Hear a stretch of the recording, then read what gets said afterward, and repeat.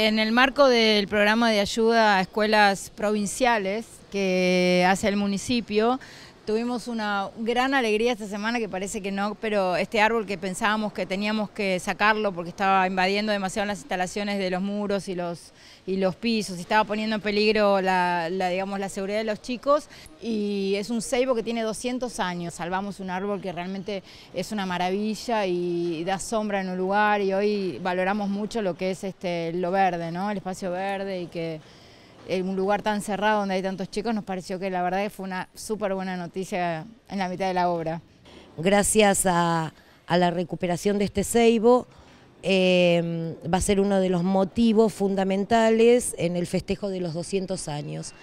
Eh, desde el Consejo Escolar y toda la comunidad educativa le está agradecida al señor Intendente porque en el marco municipal de ayuda a escuelas provinciales eh, hicieron algo más, de todo lo que vienen haciendo.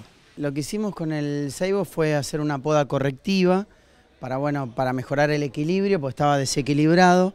Además tenía bueno, muchas ramas secas y, afectadas por el taladro, por el bicho taladro, que eh, lo que hicimos sobre eso fue eh, ponerles unas inyecciones, eh, que es un insecticida sistémico, para matar la peste que tiene el árbol y mejorarle, digamos, la salud del árbol.